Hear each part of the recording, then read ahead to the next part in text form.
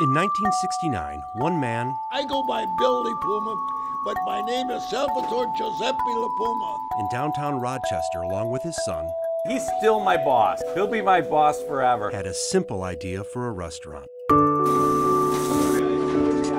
We are a true Coney Island. You want a hot dog, you come here. Mexican, New York, Coney Island, Russian dog, relish dog, Texas dog, Chicago dog.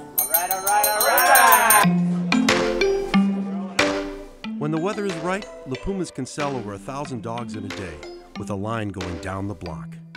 This little place, look, it's the size of a garage, but we slam the people through every day. And the tiny Main Street restaurant has become a home away from home.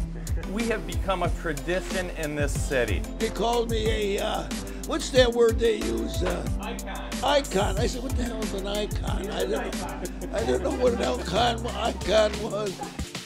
Two, hold the mustard. I got a chili fry, Crisco. Over the years, customers have become like family. Coney. Bean soup Bob.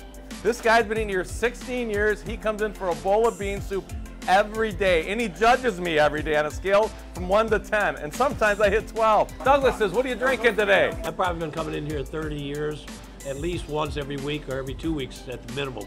Here's two beautiful colonies.